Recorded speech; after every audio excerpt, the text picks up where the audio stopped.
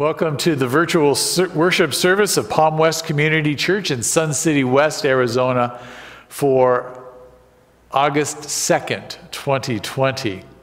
Though we are not gathered physically, we are united in the singular purpose to honor God through Christ in song and prayer and instruction from His Word. Also, this being the first Sunday of the month, Pastor Jim will lead us in a time of celebration of communion at the end of the service. So you might want to pause this video and gather bread and wine. In these days of uncertainty, when yes no longer means yes and no no longer means no, when promises are broken and misconduct is justified, when deceit is offered as righteousness, where can the devoted follower of Christ turn to find the genuine truth? Only in the truthful word of our trustworthy God do we have such a firm foundation. Let's sing together How Firm a Foundation.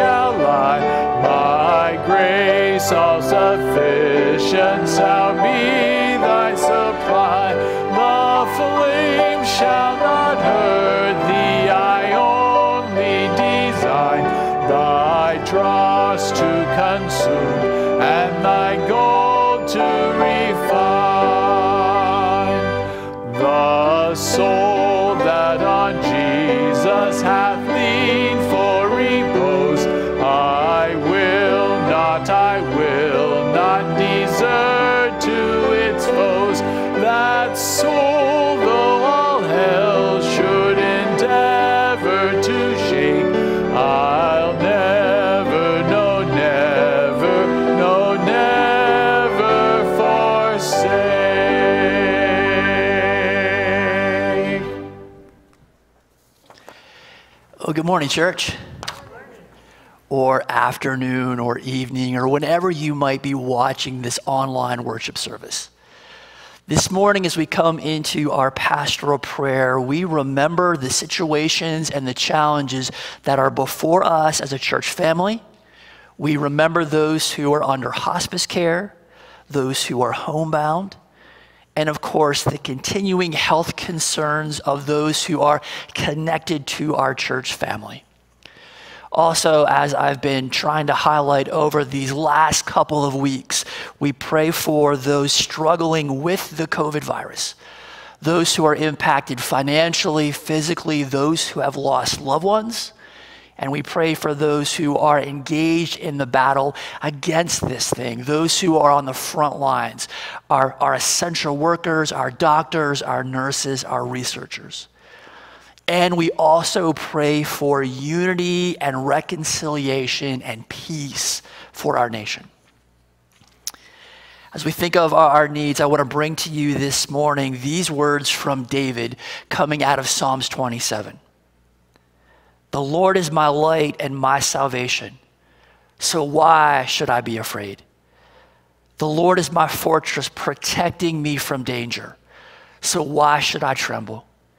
When evil people come to devour me, when my enemies and foes attack me, they will stumble and fall.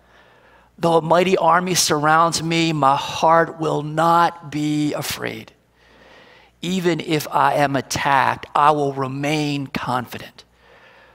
The one thing I ask of the Lord, the thing I seek most, is to live in the house of the Lord all the days of my life, delighting in the Lord's perfections and meditating in his temple. Hear me as I pray, O Lord be merciful and answer me. My heart has heard you say, Come and talk to me. And my heart responds, Lord, I am coming. For this morning's prayer, this is actually a written prayer that comes from the Northumbria community in the UK. Please pray with me. In the shadow of your wings, we will sing your praises, O Lord. The Lord is our light and our salvation. Whom shall we fear? The Lord is our refuge, the refuge of our lives. Of whom shall we be afraid? In the shadow of your wings, we will sing your praises, O Lord.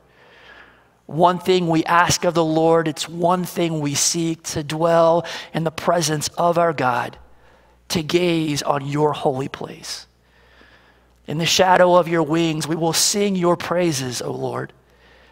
We believe we shall see the goodness of the Lord in the land of the living. Oh, wait for the Lord. Have courage and wait. Wait for the Lord. In the shadow of your wings, we will sing your praises, O Lord. We ask all of this in the powerful name of our Lord and Savior Jesus.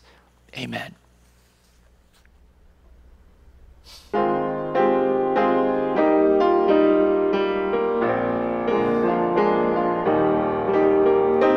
Is your burden heavy as you bear it all alone? Does the road you travel harbor dangers yet unknown? Are you growing weary in the struggle of it all? Jesus when on his name you call. He is always there, hearing every prayer, faithful and true. Walking by your side, in his love we hide all the day through. When you get discouraged, just remember what to do. Reach out to Jesus, He's reaching out to you. Is the life you're living filled with sorrow and despair? Does the future press you with its worries and its care? Are you tired and friendless? Have you almost lost your way? Jesus will help you. Just come to him today. He is always there, hearing every prayer, faithful and true. Walking by your side, in his love we hide all the day through. When you get discouraged, just remember what to do out to Jesus. He's reaching out to you.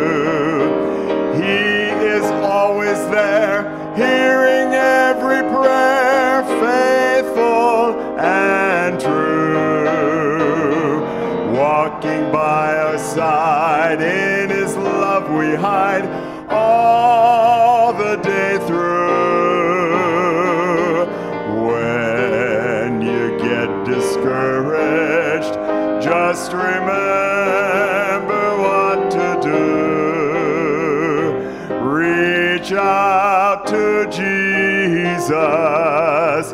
Reach out to Jesus. Yes, reach out to Jesus.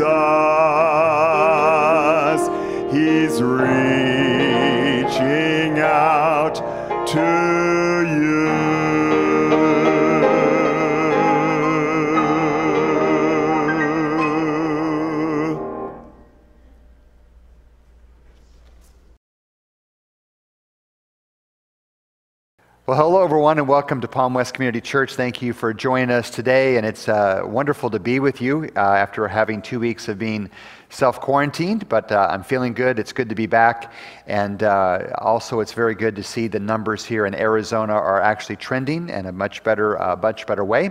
And so, as leaders, we'll be uh, anxious to be meeting in the next couple of weeks to be evaluating those to talk about our options for reopening here at Palm West.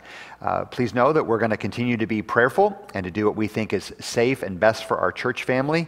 And, um, and, uh, but hopefully, we'll uh, be able to have some decisions made in the next couple of weeks about what the future looks like here. Continue to take care of yourselves and uh, don't live in fear, but also be wise. And uh, we trust that God will continue to strengthen and guide us through this. Today, we continue our sermon series on the book of Jeremiah entitled Exile and Hope. And we're talking about this book, this prophet, this incredible man that God used uh, to speak to the nation of Israel and specifically uh, Judah. Now, the last few weeks, we've looked at the life of the prophet himself, Jeremiah, and we've talked about Jeremiah and how God used him and the inner battles and challenges that he faced as a prophet. And today we're going to begin to transition, and this week we're going to be looking, and next week, at the subject of leadership. Today, we're going to talk about good kings and bad kings, and we're going to look at the role that civil leadership played in the Israel nation and Judah in particular, and how they responded to Jeremiah's message. And then next week, we're going to look at the spiritual leaders and the role that they played in the nation of Israel. Now, over the course of uh, 40 years, Jeremiah worked with multiple different leaders, multiple kings. As a matter of fact, there were five specific kings that are mentioned in the book of Jeremiah that we'll talk about in just a moment. He also had two governors who were placed in charge after uh, Babylon had taken over. We also read about interactions with Necho, who was the leader of Egypt, and Nebuchadnezzar, the leader of Babylon. In other words, Nehemiah, I'm sorry, uh, Jeremiah, during his ministry, worked with multiple different kings, multiple different leaders on multiple different fronts. We see this in the beginning verses of Jeremiah, where in Jeremiah chapter 1, verse number 3, it says this The words of Jeremiah, son of Hilkiah, one of the priests of Anathoth in the territory of Benjamin. The word of the Lord came to him in the 13th year of the reign of Josiah, the son of Amon, the king of Judah, through the reign of Jehoiakim, the son of Joash, the son uh, in Judah, down to the fifth month of the eleventh year of Zedekiah, son of Joash, king of Judah, when the people of Israel went into exile. Now, in these opening verses of Jeremiah, we read four different kings mentioned by name. Amon had already died, but we read about Joash, we read about Jehoiakim, and we read about Zedekiah. But the reality was there were five different kings that spanned Jeremiah's ministry, five different kings that he had to interact with at different points in time. And some of these kings, one in particular, were good, and the rest of them were, quite frankly, not just bad, but a few of them were wretched and horrible kings. Now, I've got a little chart here that I want to put on the screen to look at. This is also available in our church email if you want to look at it more carefully, that gives a little bit of a timeline of Jeremiah's ministry. He was called into ministry at 627, and this has sort of his call, and then Josiah's death, and then the Babylonian, first Babylonian invasion, the deportation of the first set of people, and then the Babylonian exile and the fall of Jerusalem in 586. Now, during this time, there were five different kings of Judah that Jeremiah worked with. The first was Josiah. Now, Josiah was a godly king. He was a godly man. He took over at eight years old. His grandfather Manasseh was perhaps the worst, most wretched, most ungodly king in, in the history of Judah. His father, Amon, only lived about two years before he was overthrown and murdered. And Josiah took over at eight years old. And at 16 years old, the Bible says that Josiah began to seek the Lord. And a few years after he began to seek the Lord, he commissioned the priest to clean the temple and to begin to renew and to restore the temple. And it was then that they found the book of the law, which had been lost for several years, the Deuteronomic code for the Israelite nation. And then Josiah pronounced these uh, these reforms. He called the nation of Israel to celebrate the Passover, which had not been done for several decades. He tore down the high places. He eliminated the Asherah poles. He kicked out the temple prostitutes, the workers of magical arts. He took all these people, got them out of the temple, and brought about a great reform and a great renewal, which we'll talk about in a moment, to Israel. Now, he went into battle. The Egyptians were coming down, and at a place called Megiddo, right? Some of us have maybe been to Megiddo. Megiddo, a place right outside of Jerusalem. Uh, there's a little town there in the valley of Megiddo. Uh, Joash went out to fight the Egyptians and he lost his life. His son Joash took over, or uh, Joahaz took over, but he only reigned for three months before he was taken uh, into captivity by the Egyptians. And then Jehoiakim took over and reigned for 11 years. Now, Jehoiakim was not a very teachable person. He was very arrogant, uh, very anti any kind of a message that, Josiah, uh, that Jeremiah would share. He reigned for 11 years before the Babylonians came in. The Babylonians conquered the Egyptians, and then they came and took over, and Jehoiakim was taken as a prisoner. Then his brother Jehoiachin took over for three months before he was uh, taken out of power. And then Nebuchadnezzar took Zedekiah and put Zedekiah in power here at about 597. So Zedekiah was put in position of power, and uh, I think it was 90, 97, yes. And uh, he was placed there by Nebuchadnezzar to be basically a vassal. Now, Zedekiah played both sides of the fence, though.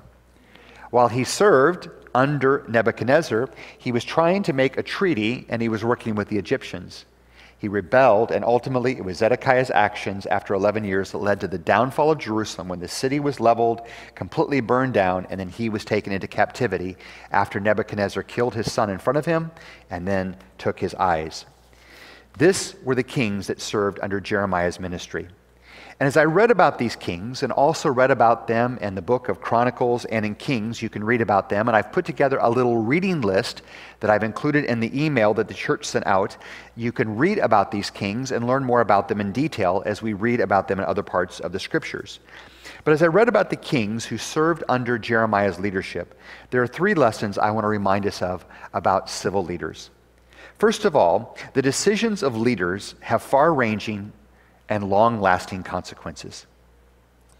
You see, these leaders that, that were in place during Jeremiah's ministry, these people that, that, that God placed in leadership over the nation of Judah and the city of Jerusalem, they made decisions that were not just about the short term, but many of the decisions that they made, decisions to follow God or decisions to reject and to walk away from God, had far ranging and long lasting consequences every single one of them. Now, you and I make decisions in our life. We've made decisions in our life. Some of us made decisions to go to school, some of us dropped out of school. Some of us chose a career that we loved, some of us chose a career that we hated. Some of us bought our home at the right time and the right location, and some of us bought our home at the wrong time and the wrong location. Some of us invested our money wisely, and some of us invested our money foolishly. Some of us have made these kinds of decisions, good, bad, or indifferent. But many of our decisions have affected only us. Maybe they've reverberated down to our children or our grandchildren or our close friendships or our extended family, but most of the decisions that we make affect us. But when you have political leaders, civil leaders, kings, emperors, governors, presidents, these people make decisions that cascade down and they have a far reaching effect upon people. It's not just about them. And those decisions they make have long lasting effects to them. For an example, on May 28, 1930, President Andrew Jackson in the United States signed into law something called the Indian Removal Act. In my opinion, it was one of the most immoral, unconscionable, ungodly and unfair laws ever put in place by our government. It basically gave the American government the right to go in and to take land from the Native Americans And in some cases, if they were lucky, they would give them pennies on the dollar for their land. But they would forcibly remove them from their land, and then they would transport them and they would trade and give them land that basically was worthless. And these Native Americans were no longer able to farm and to fish as they had done for hundreds and hundreds of years before. They were no longer able to be able to farm the way they had done because the land they were, they were given was basically impossible to farm and they weren't able to hunt. And so it basically not only removed all of their traditions, it caused them to start over again. And even in the situations where our government gave quality land, like the Lakota, which they gave the Black Hills, about two decades later, they came back and said, This land's too good. We're going to take it back and give you something else. But it wasn't just the negative consequence for the Native Americans, which I would suggest to you 190 years later has had consequence on those Native Americans in the fo- following generations. But when America took those lands from the Native Americans, they put together what were called land lotteries. And if you were a white male, you could put your name in a hat and they would give you 10, 20 parcels of uh, acres of land that you could be able to start a family and build a business on. If you were black, if you were Asian, if you were a woman, or you were an Indian, you could not put your name in the hat for that land. So people were able to build generational wealth that the land that was given to them by our government so graciously that had been taken away from the Indians. Here's the point I'm making. A decision made by Andrew Jackson in 1830 still has consequences almost 200 years later. Consequences of good for some people and consequences of bad for others.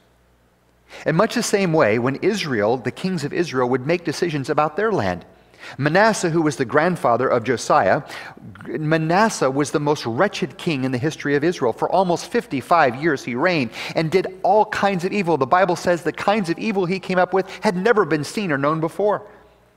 He led Israel into unprecedented levels of ungodliness.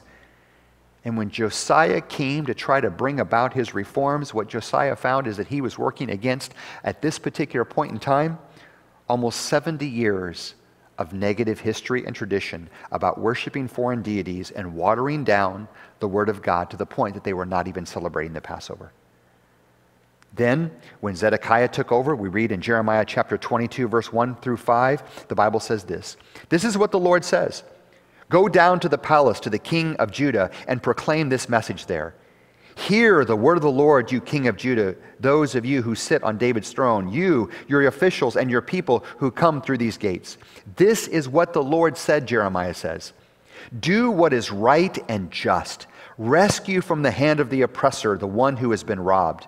Do no wrong or violence to the foreigner, the fatherless, or the widow. Do not shed innocent blood in this place. By the way, these are themes you read throughout Jeremiah and many of the prophets. This idea of being fair to the people that are poor, this idea of not alienating the, the foreigner or the stranger or the alien.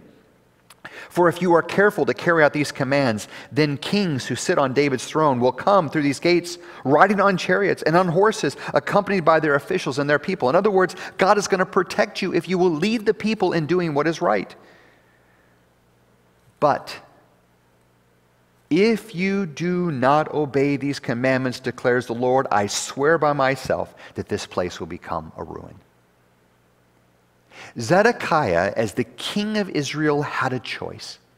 Do I yield to the word of God as given to me through the prophet Jeremiah? Do I repent and do I change our ways, or do we stay on the track that we are on? And the decision that Zedekiah made not just affected him, it affected the silversmith, the man who was running his own business, who treated people fairly, who loved his wife and his kids, and was trying to be loyal to the Word of God, his life was turned upside down because of Zedekiah's decision. The young newlyweds that were married with great dreams about their life and their future. That young man may have lost his life in battle, may have been taken to slavery, but their dreams and their future was no, no longer possible because of Zedekiah's rebellion and because of his un- unwillingness to follow the Lord. In other words, my friends, when Zedekiah made the decision not to yield to the Lord, and by the way, we read in chapter number 34 that Zedekiah did in fact get a little bit nervous, and he and the officials actually began to implement the word of the Lord briefly. In chapter 34, verse 8 through 11, the Bible says that Jeremiah came to them and said, The Lord says, free, free all of your Hebrew slaves, free them all. And the Bible says that they freed them. And then it says in verse number 11, they changed their mind and took the slaves back. Jeremiah says, What you have done is rebellion against the Lord. And because Zedekiah did not have the courage to lead, did not have the courage to follow God, did not have the courage to make the difficult decisions and to do what was right, the city of Jerusalem was taken. It was leveled. The temple was destroyed. And people's lives, hundreds and thousands of people's lives, were upended because of his decision. Leaders do not just make decisions for themselves, they make decisions that have far reaching and long lasting consequence. Second of all, God uses leaders, but not always the way that we think. We have the proclivity, and I use the word we because I do as well, that we have certain categories that are important to us. And then what we do is that we sort of determine good leaders and bad leaders based upon how they address the issues that are important to us. And we have a way of thinking that the people that we vote for or that we like are good leaders, and these other people who stand for issues or agendas that we don't agree with, that they're bad people, that they are working against God. Our guy or gal is for God, the other guy or gal is against God. Yet when we read the history of Israel, we read more specifically in the book of Jeremiah that the people that you thought God was using were actually working against his will. And people that we assume God would be against, the Lord actually was using. Jeremiah 25, verse 1 through 3, once again speaking about Zedekiah, Jeremiah answered, Tell Zedekiah, this is what the Lord says, the God of Israel I am about to turn against you the weapons of war that are in your hands, which you are using to fight the king of Babylon and the Babylonians, who are outside the wall besieging you, and I will gather them, uh, gather them inside this city. Now, notice this, verse number 5. I will fight against you with outstretched hands, and a mighty arm in furious anger and in great wrath. Israel was the people of God. Jerusalem was the city of God. And yet the Lord says, I am going to fight against you, Zedekiah, and I'm going to fight against your people if you do not do what I tell you to do. Later in chapter 21, verses 12 through 14, this is what the Lord says to you, house of David Administer justice every morning, rescue the hand of the oppressor, the one who has been robbed, or my wrath will break out and burn like fire because of the evil that you have done. Uh, burn with no one to quench it. I am against you, Jerusalem.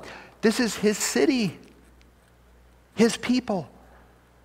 The Lord says, I am against you, you who live above the valley on the rocky plateau, declares the Lord. You who said, Who can come against us? Who can enter our refuge? The Lord says, I will punish your deeds, the deeds that you deserve. And I will kindle a fire in your forest, and I will consume everything around you. Now, these are strong, strong words.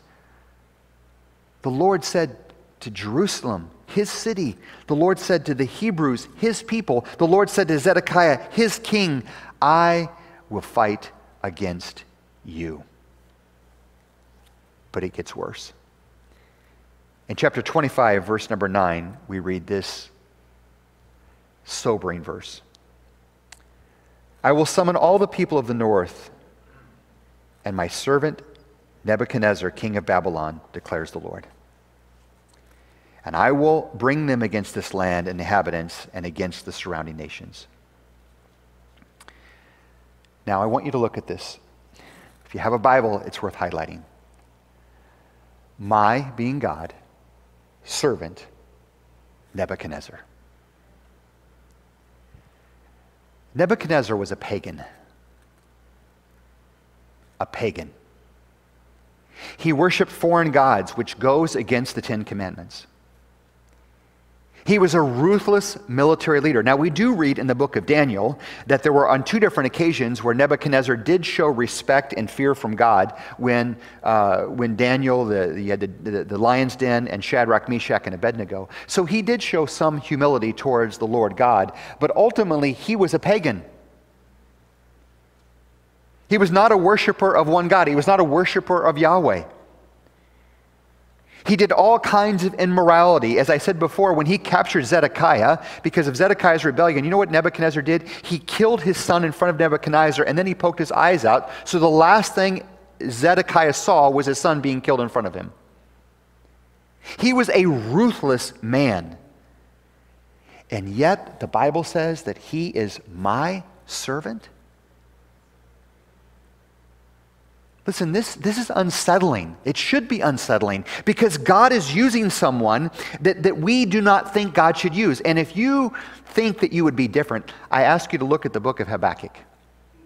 Because Habakkuk was a prophet who also lived during the time of Jeremiah. And Habakkuk said, Lord, how long? How long before you, you bring renewal to our people? And the Lord responded to Habakkuk in chapter number one and verse number six and seven, five, six, seven. I am going to raise up the Babylonians, these impetuous people, to bring judgment upon my people. And you know what Habakkuk's response was? God, you cannot do that. Lord, you cannot use Nebuchadnezzar. You cannot use the Babylonians because they are ungodly. They are unrighteous. They're not your people. See, Habakkuk thought God should bring judgment, but Habakkuk had his own idea of what it should look like. And you know what? Here's the cold, hard truth. If you and I lived in 586 BC, we would have been just like Zedekiah and just like all the people in Israel except Jeremiah and a handful of others. We would have believed that God was on our side. We would have believed that Zedekiah was God's man. We would have believed that the Lord was going to fight for us, not against us. And we would have believed that Nebuchadnezzar was an ungodly man that God never could have used. And we would have been just as wrong as they were. Much like the great song by Bob Dylan, God is on our side, we always have the ability to think that God is always with us. And whatever our cause is, God is with and for. But here's the lesson, my friends. We need to humble ourselves and realize that sometimes God in His sovereignty has a plan and a purpose. And sometimes people that we do not think that God can use, leaders, people that may upset us, people that may anger us, people that may stand for issues that we don't agree with, maybe God is using them to carry out a bigger purpose than we can see in the short term. And maybe people that we think stands for issues that are important to us and that God is using them, maybe long term, they're not necessarily fighting for God like we think. And I am not making judgment on anybody in, in the current world of politics because let me just tell you, I have no clue.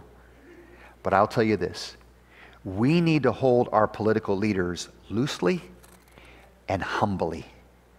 Because when we put too much confidence in the people that we elect, my friends, I'm telling you, we are in the same dangerous territory that Israel was. When we start thinking that this politician represents God and his agenda, we are walking in very dangerous ground.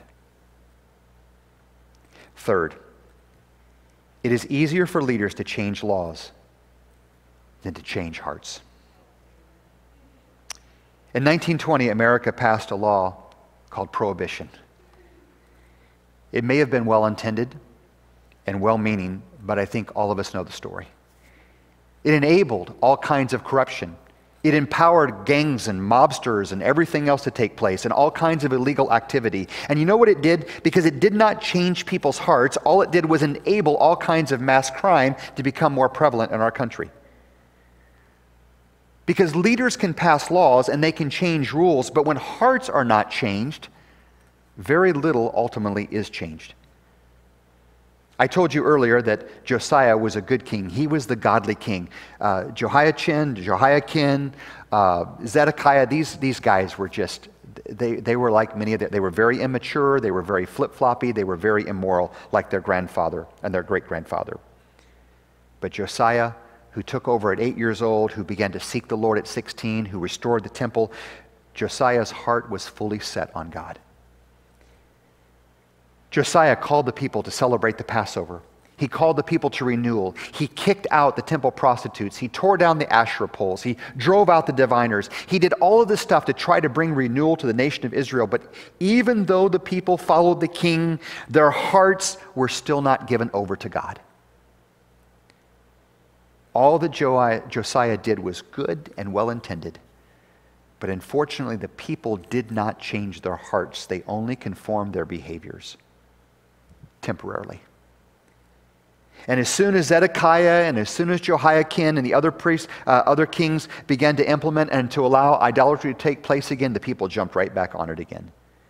Jeremiah chapter 3, verse number 6 says, During the reign of Josiah, the Lord said to me, You have seen what faithless Israel has done. She has gone up to every high hill and every uh, spreading, uh, spreading tree and has committed adultery there. So even though the people were conforming their actions in Jerusalem, where Josiah had brought about the reforms, they were still sneaking out at night. And they were going to the high places and they were still worshiping the other gods they had been raised with. Because remember, Josiah brought his reforms after 55 years of Manasseh leading the people astray and two years of Amon. Some of them had never even knew the word of the Lord. They'd only maybe heard a few stories. And so they went back to what they knew. Jeremiah 12, 2 says, You are always on their lips, but you are far from their hearts. It seems as though my reading of the, of the Bible and history says that it seems like bad leaders always bring about much uh, greater and faster consequences than good leaders. Good leaders often make decisions that are very slow to settle in. Good leaders often make decisions that take times for the goodness of those decisions to be manifested. But bad leaders often get a big following very quickly. Josiah tried to bring about reform, but unfortunately, the people did not truly transform their hearts because only God can change a heart. And without a changed heart, very little changes. So, in closing, let me just share two things. What do we do with this?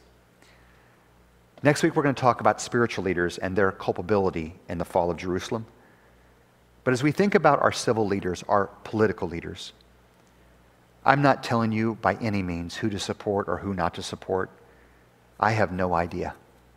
I have opinions just like you. I have people that I like and people that I don't like, and people that make me angry and people that make me more excited. But I would simply say two things, especially in the climate that we're living in. Number one, stay humble. Stay humble about your party, about your politics, and about your person that you support. Because let me tell you something. Just like they missed it in the days of Israel, we can miss it even today. I love the story of Billy Graham, who I have a great deal of respect for. And Billy Graham, uh, early in his ministry, would endorse certain political candidates.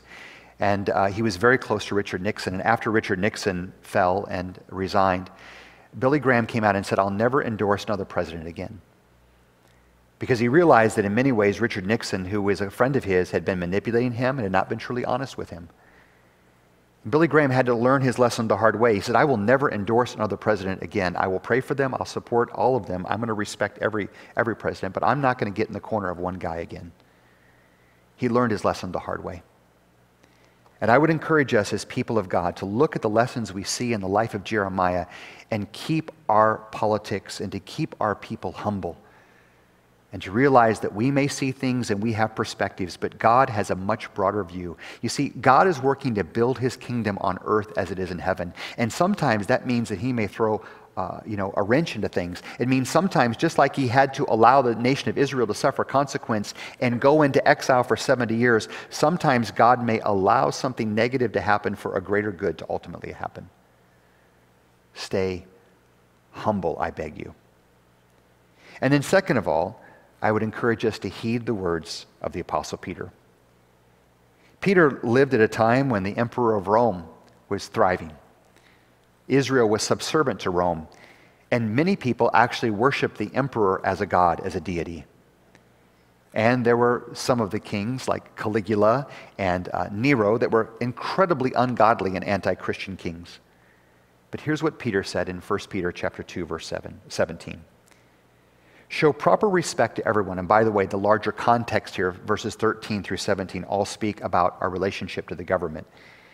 He said, Show proper respect to everyone. Love the family of believers. Fear God and honor the emperor. Show respect. I think as believers, we have the opportunity to model what it means to show respect even to people who we disagree with. Love the family of God. This truly is our home, not there. Fear God. Because God is often working in ways that we do not know and we do not understand. Fear God. Honor the emperor.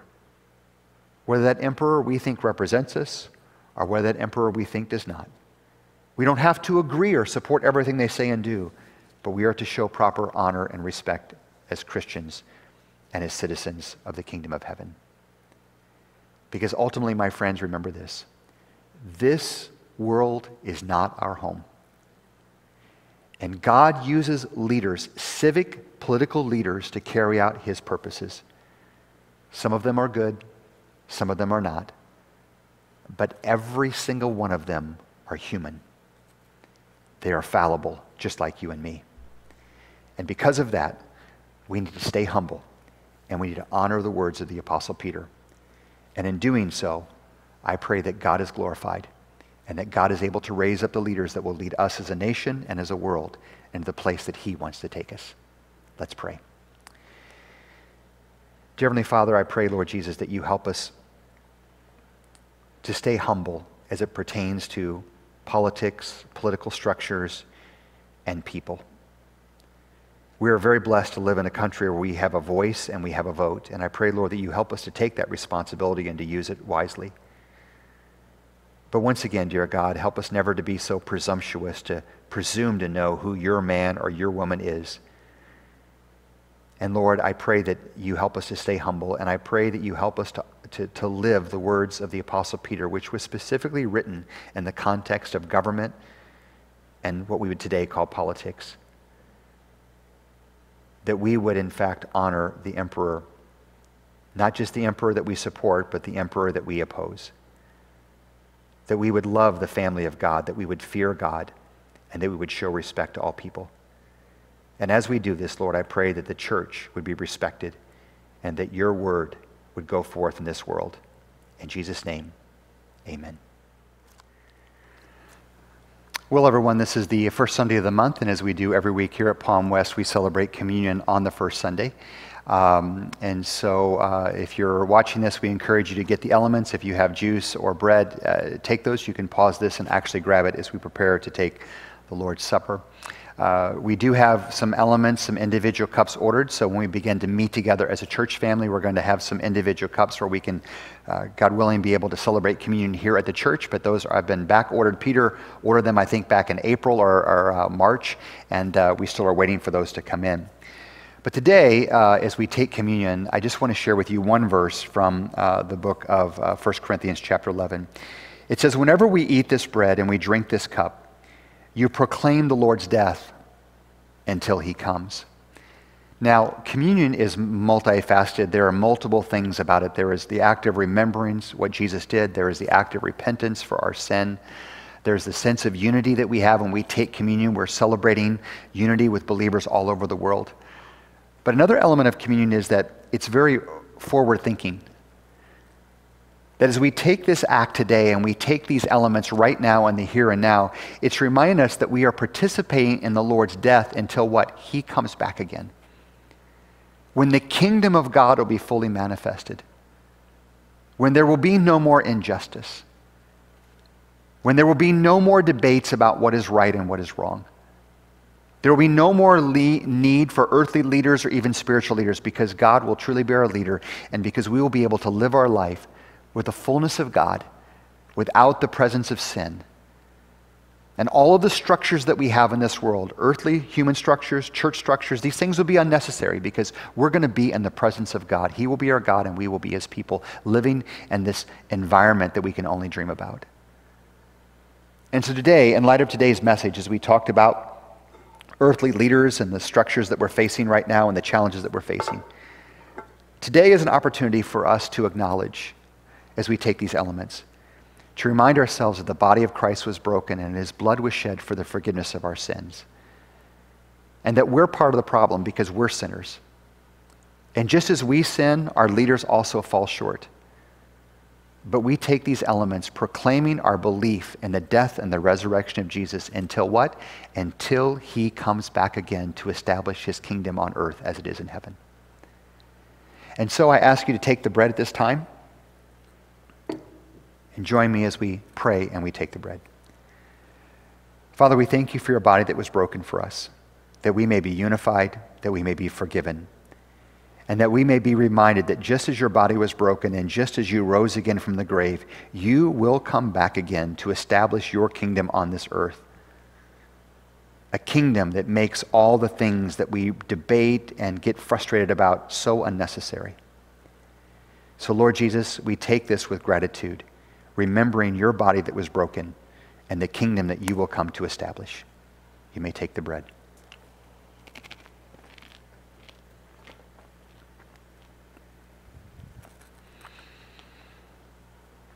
Lord, we now take this cup a reminder of the blood of Christ that was shed for the forgiveness of our sins. We are a fallen people, a sinful people, and all of the leaders that we look up to are equally fallen. But you, Lord Jesus, have offered forgiveness and transformation through your blood. You've offered to change us in this life, and you've offered us the hope of life eternal. And so, Lord, we now thank you for the gift of forgiveness.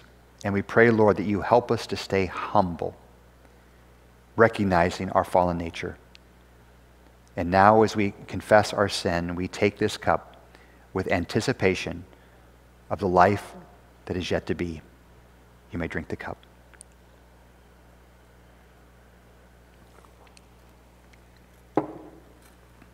Thank you for joining us in communion today. May God bless you. As is our practice on the Sundays of communion, we end our service by singing together the Lord's Prayer. Let's sing.